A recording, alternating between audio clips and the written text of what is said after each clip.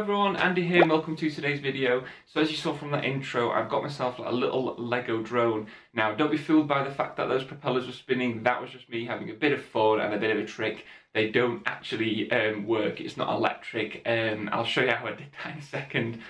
Before I do get into the video though, um, I would just like to say if you're new to my channel then make sure to hit that subscribe button and make sure to hit the bell icon to keep up to date with future videos. And also a big part of this video is I'm going to be doing a giveaway, giveaway to all you guys. Make sure you watch the whole video because the thing is I'm going to be stating within the video how you actually go about um, in entering and the giveaway is the chance to win the little drone that I am going to be showing all you guys, the little Lego drone that I have made. So let's get on and have a look at this thing a little bit more closely. Alright everyone, so this is the Lego drone which you saw in the intro and as I said these propellers they well they work in the way that as you can see they do spin but they don't work electronically. What I did was actually held a hairdryer above this thing to get the propellers to move. I just thought that was quite cool and quite fun and it does show that they do work. If you blow on these they work really really well and you know what they can spin for quite a long time. Now um, I went for the typical kind of drone shape um, this was both because I own a Phantom, DJI Phantom, which is white, which is why I've gone for that colour theme, but also with the amount of parts, I'm really limited with what I could do. This is a custom made one. I've had to source these parts myself and create the design. Um, I actually did this like sort of on Photoshop where I just kept putting parts on top of each other and trying to work out what would click to what. Um, and I'm really happy with the outcome of this thing. I think it's really cool. I think it has kind of most of the details which you would find in something like a DJI Phantom. So if we look, try and look a little bit more closely, I mean, obviously at first glance, we have the four propellers and we also have the legs, which aren't normally under the propellers, but I had to do with what I had parts-wise.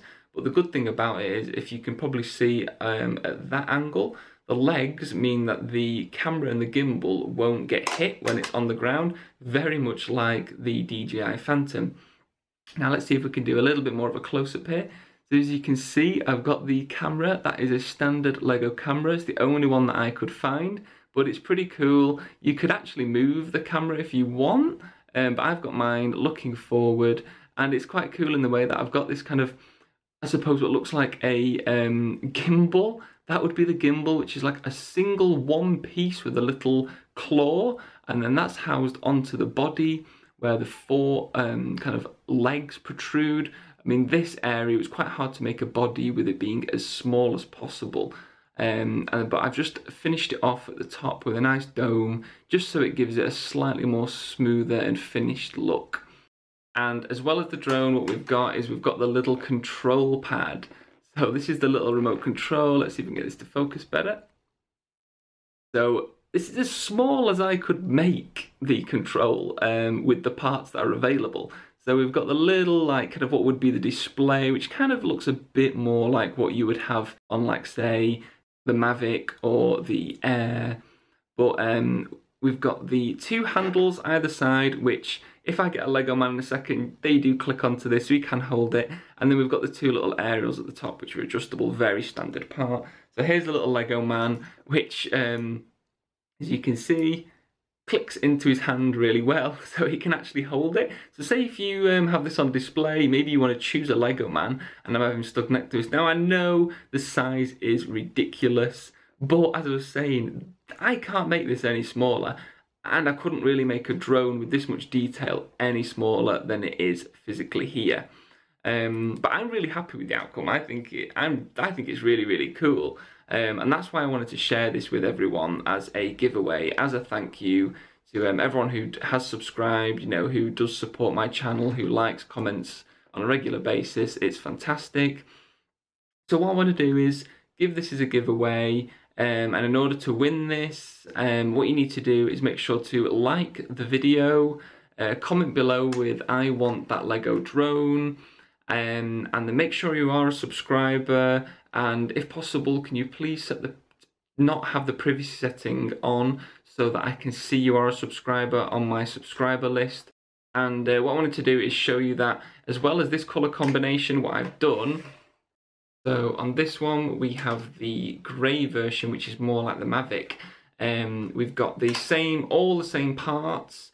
And um, we've got the propellers, the body, etc. Because that's just the layout I've gone for. But to resemble the Mavic, what I did was I've gone for a grey body instead of the white one with this one. But then this one has the sort of pale light grey for things like the gimbal for the camera holder.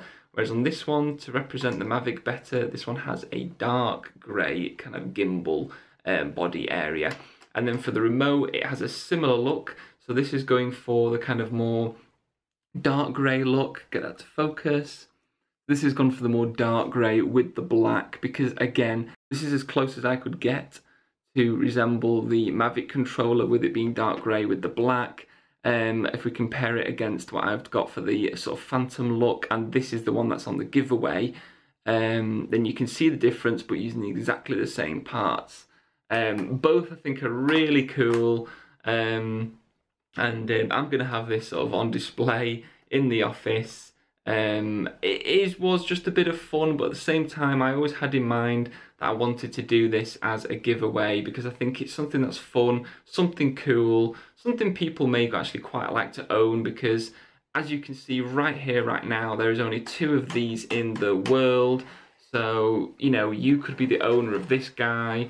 Um, and I think that's really, really cool, both from my standpoint and I think from whoever is going to win this thing. How cool is that to think no one else owns this thing, so you are going to be the sole owner of my mini Lego drone.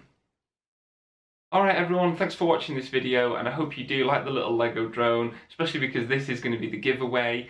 And um, just to reiterate how to enter, what you need to do is make sure to like this video, comment below with the words I want that Lego drone.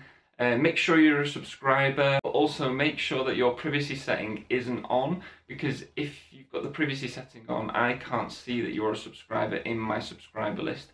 So that is quite important. And please feel free to share this video with your family and friends and let's get this little guy to its new owner.